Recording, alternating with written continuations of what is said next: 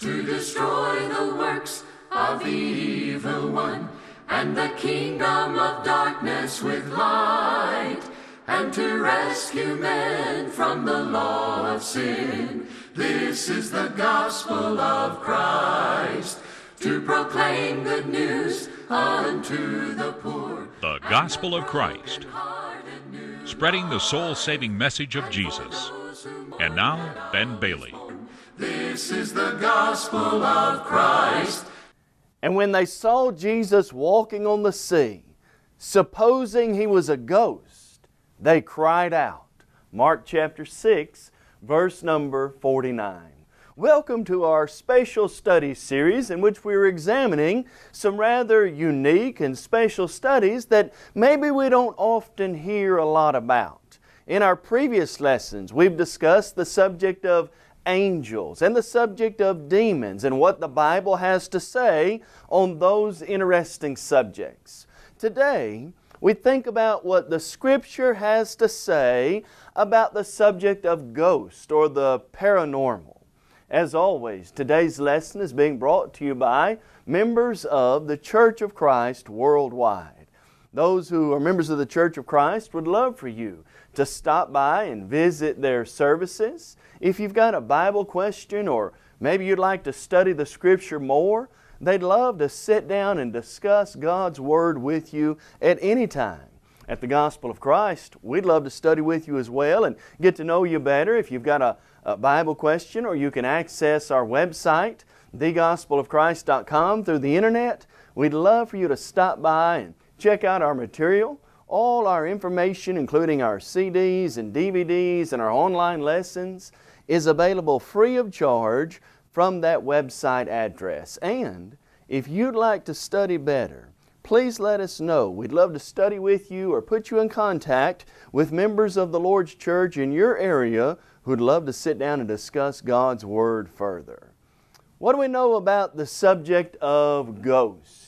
There's a lot of hysteria about this idea in our world today. From the time that the movie Ghostbusters came out to today, where we've got ghost hunters and paranormal societies and all this interest in the subject of ghost. What does the Bible actually teach on this subject? Am I going to see some disembodied spirit in some white, misty form? Do I need to worry about being haunted in the deep dark of the night? Are there haunted houses and, and ghosts and evil spirits that are actually out to get us today?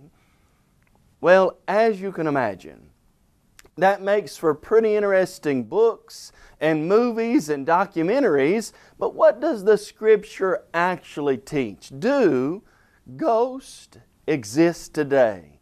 Have people really seen ghosts? And are those sightings founded on the Scriptures and the Word of God? As we begin, let's realize that there are two places of existence that we can think of. First, there is the physical, material, touchable, tangible world. Genesis 1 1 says, In the beginning, God created the heavens and the earth. Genesis 2, verse 7 the Lord God created man at the dust of the ground, breathed into his nostrils the breath of life, and man became a living being. And so we have the, the physical, the touchable, the material, tangible world in which we live, and yet we cannot deny, based on the Scriptures, that there is also a spirit world. There is a place where people's spirits, once they leave this physical life, do reside. Let me illustrate. 1 Peter chapter 3, verse number 19 says this By whom also he, Jesus, went and preached to the spirits in prison. There were spirits who were in existence in some other location beyond this earth life. The Bible teaches in Luke 16, verses 19 through 31, that when both the rich man and Lazarus died, they went to that spirit place that we know of as the Hadean realm on the Hadean realm or in the Hadean realm, there was torment where the rich man was, and there was paradise where Lazarus was. And so, yes, there is a, another place of existence, the Hadean realm, where the spirits exist. But for our discussion today, we want to consider are there ghosts, spirits who are coming back today to haunt, to talk to, and to create havoc on this physical, touchable world in which we live in today? Well, we ask first of all, what exactly do we mean by the word ghost? When someone says, I saw a ghost, or do you believe in ghosts? What exactly are we talking about? Well, Webster defines it this way. A ghost is defined as a disembodied soul or spirit, especially the soul of a dead person believed to be inhabitant of the unseen world or to appear in the likeness of body living forms. So talk about a ghost, oftentimes people will say, well, you know, some tragic event happened in this house 100, 200 years ago, and their spirit is still trapped here, and they're appearing in body form. We're talking about the soul of a dead person, they would say. Maybe a, a spirit, disembodied spirit who's still existing. That's kind of what we mean when we talk about the idea of a ghost. You know, when we think about this, we do find the word ghost mentioned in the Bible on several occasions. In fact, during the time of Jesus, people had the idea, at least did believe in, ghosts. Listen to Matthew chapter 14, verses 25 through 27. The scripture records, Now in the fourth watch of the night, Jesus went to them walking on the sea, and when the disciples saw him walking on the sea, they were troubled, saying, It is a ghost. And they cried out with fear. But immediately Jesus spoke to them, saying, Be of good cheer, it is I, do not be afraid. Same event occurs in Mark chapter 6, verse 49. They see Christ walking on the sea, great miracle that He performed. They don't know how a human being could do that, and so the only other conclusion they can draw is this figment of their imagination it's a ghost. And so they thought that might be the case, and of course, Jesus says, it's not a ghost, it's me. Don't be afraid, be of good cheer. They did believe at that time in spirits who came back to this world. The Greek word used here in this context, Mark chapter 6 and Matthew 14, is not the word for spirit, which is the Greek word pneuma. It's actually phantasma, which is the word for ghost. The King James and New King James will translate that. It's from the word that our English word phantom originates. And so they didn't know what it was. They said, It's a ghost, it's a phantom. We don't know what it is, but it's surely not a person. Jesus said in Luke chapter 24, verse number 39, when he came back from the grave, when he was resurrected, Jesus said, Look at my hands and my feet. it, it is I myself. Touch me and see. A ghost does not have flesh and bones as you see I have. And so here we see an example of Jesus using this to show at the resurrection he wasn't a ghost. He was actually there in spirit form. And so the idea of a phantom, Jesus did away with that when he said, I'm not a phantom. I'm a spirit. I, I, I've come back from the grave. You can see in my hands and my feet the marks that were made by the cross. And so there was some belief in Jesus' day about the idea of ghost. But let's think about this. What does the Bible actually say on the subject of ghosts and their existence? We know that ghosts, or at least spirits, existed in the Bible on at least one occasion. Let me illustrate. 1 Samuel 28. We've got Saul and Samuel there, and, and Saul is struggling with his kingdom he's having a lot of problems. And so, in a desperate attempt, he goes to what we know of as the witch in Endor. She calls up from the grave uh, Samuel, Samuel's spirit, and that spirit returns. And you remember the context when Saul sees it, he's afraid. Even he was surprised that it actually happened, and yet Samuel's spirit did come back and communicate with Saul on that occasion. But as we think about that occasion, that was indeed a, a special scenario. in which God allowed that to happen so that information could be given to, to Saul so that he would realize the sinfulness of what he had done and for that to be the working of God's ultimate plan. And so we do know that it occurred in one occasion, one occasion in Scripture. But you know, as we think about ghosts, there's also a lot of other ideas that are uniquely associated with this. For example, what does the Bible say on the subject of witches? We think of ghosts and goblins and ghouls. We think of, of witches as well. Does the Bible have anything to say on the subject of witches or warlocks? It indeed does. Notice Exodus chapter 22, verse number 18. You shall not permit a sorceress, some versions will say, a witch, to live. How did God look at people who tried to delve into or tried to trick others with those kind of things? God said, don't let them live. God was not at all pleased with that type of action or lifestyle. Let me give you another example. Notice, if you would, Deuteronomy chapter 18 verses 10 through 12. The Scripture says, There shall not be found among you anyone who makes his son or his daughter pass through the fire, or one who practices witchcraft, or a soothsayer, or one who interprets omens, or a sorcerer, or one who conjures spells, or a medium, or a spiritist, or one who calls up the dead. For all who do these things, are an abomination to the Lord, and because of these abominations, the Lord your God drives them out from before you. And so, soothsayers, spiritists, what we think of as black magic, maybe. How did God feel about that? God said, Don't let them live among you. God didn't want that to happen. Not that they could necessarily do it, but those who tried to, those who might have tricked people, those who gave into those things rather than putting their faith in God God said, You've got to drive those people out from among you. Well, what about things like sorcerers or mediums or spiritists, as we might know them today? Those who want to try to communicate with the dead or bring certain spells on other people. What does the Scripture say on subjects like unto these? Again, the Bible is very clear in addressing these issues in Leviticus chapter 19 verse 31 and Leviticus chapter 20 verse 27 God again condemned such action.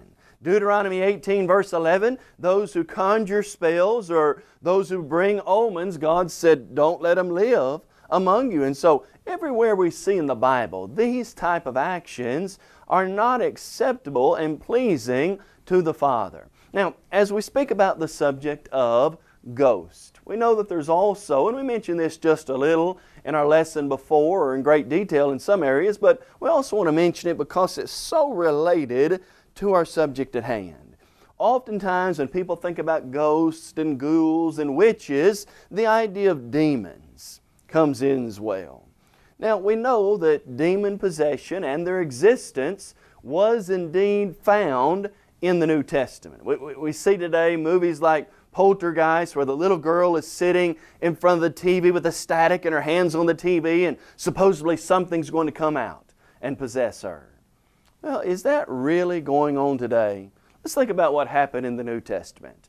In Mark chapter 5, we know that there were a host of demons who actually possessed a man, legion, or the demoniac, and they caused him to do horrible things cut himself, run naked, uh, live in the mountains, had great strength, and yet he was pretty much out of his mind in a lot of ways.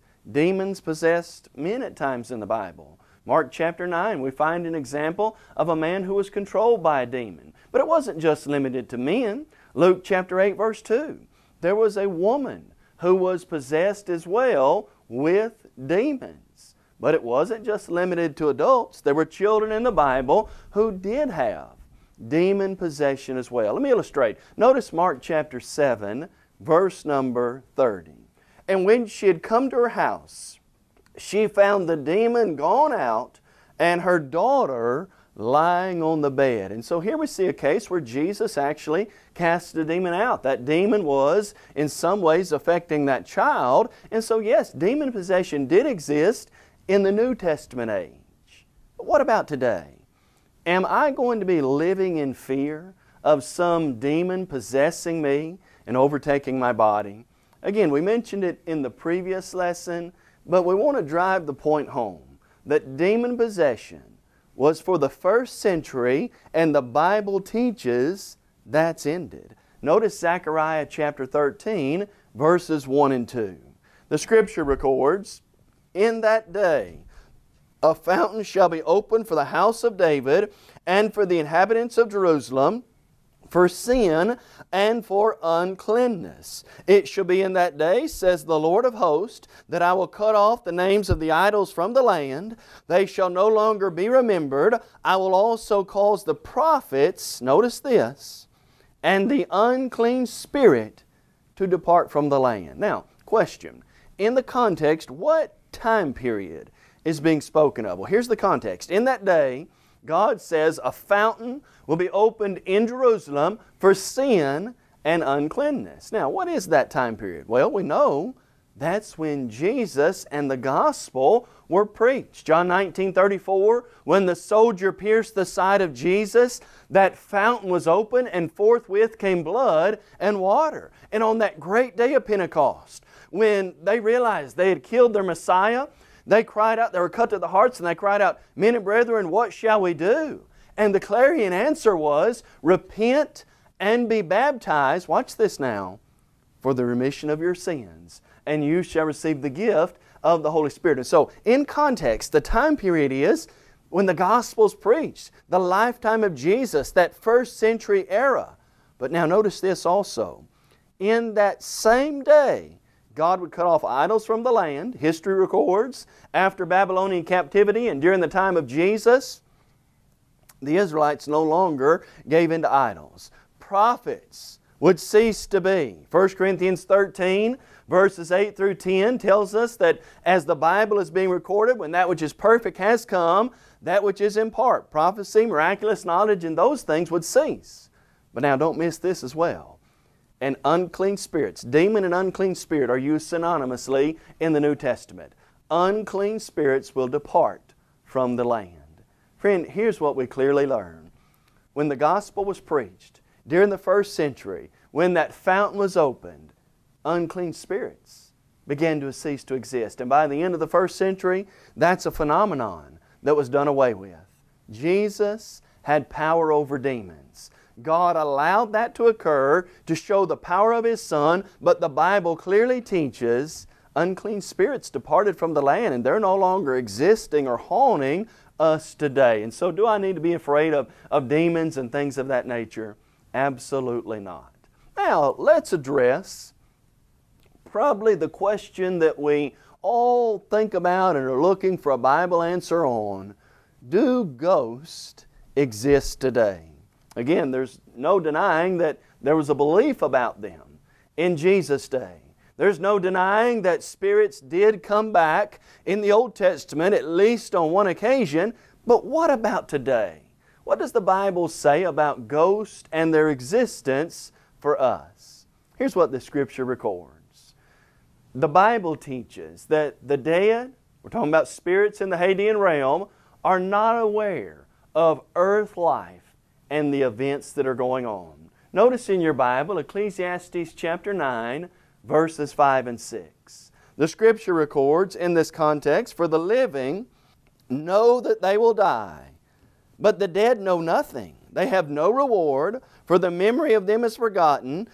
Also, their love, their hatred, their envy has now perished. Nevermore will they have a share in anything done under the sun. The dead, who are we talking about? Spirits. They don't know what's going on here. They don't have a share in that. They don't partake in it. They don't come back and interact in the events from day to day and life to life. Their life under the sun, earth life, is over. And they're not going to come back and interact with us today. Here's what else the Bible says the Bible teaches that the dead are not going to rise and live and haunt people now. Isaiah 26 I want you to notice what verse 14 says. The Bible records of the dead, they are dead, they will not live, they are deceased, they will not rise. Therefore you have punished and destroyed them and made all their memory to perish. What do we know? They're dead, they'll not live. They're deceased, they'll not rise. They're, they're not going to come back and live. They're not going to come back and haunt. They're not going to hang around and bring havoc and do all these things that people make up today. That's not what the Bible teaches on the subject of ghosts. Here's what we know the dead do not. Listen carefully now. Lo- there's a whole lot said about haunted houses today, but here's what you can know. The Bible says the dead do not rise up, nor do they go to their houses anymore. Listen to Job chapter 7, verses 8 through 10. The eye of him who sees me will see me no more.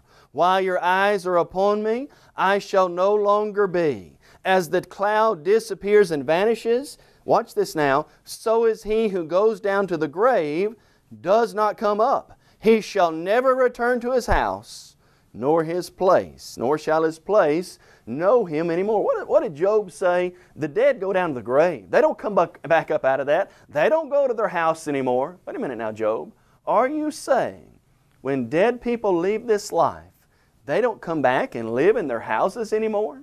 Friend, that's exactly what the Scripture is recording. And so, what about all this hysteria about haunted houses and these places where tragic events happen and all these disembodied spirits are there? Friend, we just don't find biblical support for those ideas. Here's what we do find the Bible records that after one leaves this life, his spirit returns back to God. Listen to Ecclesiastes chapter 12, verse number 7. The Bible says, Then the dust will return to the earth as it was, and the spirit will return to God who gave it. What happens to spirits? Do they just linger around? Are they stuck in some in between? No, they return to God who gave them. They're under God's authority, God's control, and God has told us they're not coming back, they're not participating in these events, and they're not going back to their houses. And so we can know while there's a lot of hoopla, while there's a lot of hysteria, while there's a lot of interest and excitement in this idea, friend, it's just not based on Scripture and biblical ideas. Here's what we know for sure. In Luke chapter 16, we get a good scenario of exactly what happens. You remember the story Lazarus and the rich man.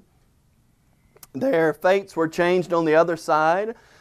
Lazarus awoke in paradise, he was in Abraham's bosom. And the rich man, he awoke in torment so bad that he wanted just one drop of water to cool his tongue. He said, I'm tormented in these flames. And, and then he wanted, he still got the wrong mindset. He wants the rich man to come and serve him. Can't do that. He wants somebody to go back from the grave. Listen now. He wants a spirit to go back from the grave and warn his five brothers. What did, what did Abraham say? It's not possible. Why? There's a great gulf. You can't cross over, you can't go back. Friend, what do I know about spirits interacting today? From that example, I learned that you can't go back. You can't cross over. It's not possible. There is a separation, a chasm, a divide in the spirit world that separates them from us. Now, does that mean today then that there is nothing for us to be afraid of? Oh, there's something that I need to fear greatly. There is something in the spirit world that I need to fear greatly.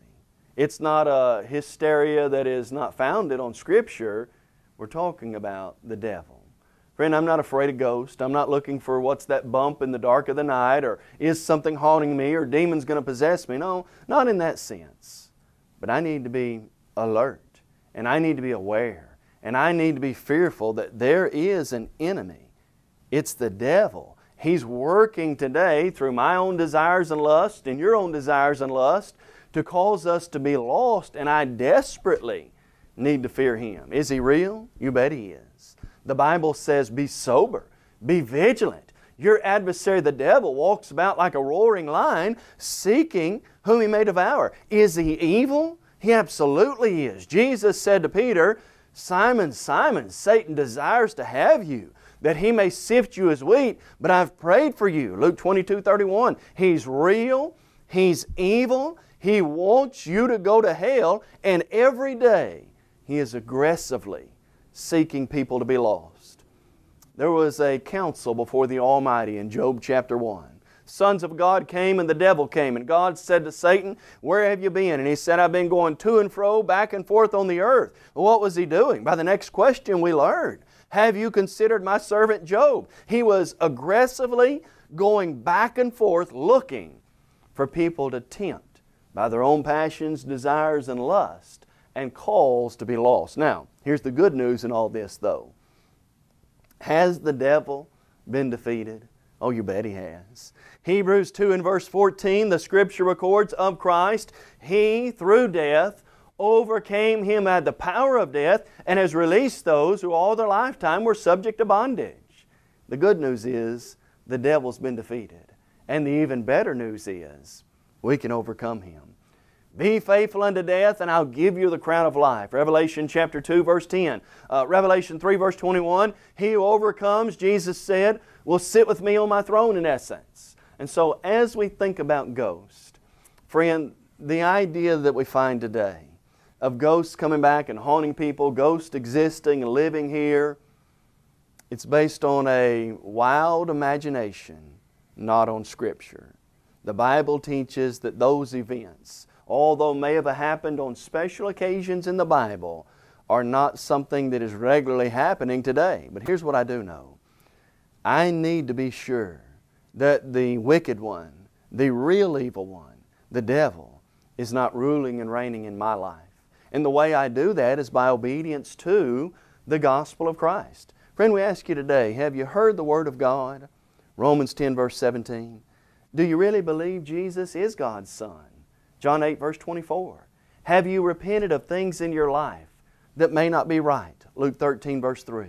Would you confess Jesus as God's Son? Romans 10, verse 10. And would you be immersed in water for the forgiveness of your sins? Mark 16, 16. Let's not get so caught up in ghosts that we forget about the real enemy. And let's remember, he who is in you is greater than he who is in the world. You may have just joined our program and are wondering, what is the gospel of Christ? The gospel of Christ is an evangelistic work of the churches of Christ that reaches the world with the gospel through TV, radio, and internet. Our motto is taking the whole gospel to the whole world. We believe in having a book, chapter, and verse for everything we do and say. And unlike many other religious groups, we're concerned about lost souls, not your wallet. He'll return like a thief in the night. We encourage you to visit thegospelofchrist.com for a host of Bible study materials as well as audio and video copies of our lessons. If you would like to have a copy of today's lesson, please visit our website and fill out a media request form, or you can email us at mail at thegospelofchrist.com. Call us toll free at 1 855 458 3905 or write to us at P.O. Box 788, McMinnville, Tennessee 37111. Be the glory, and to God be the glory. This is the gospel of Christ.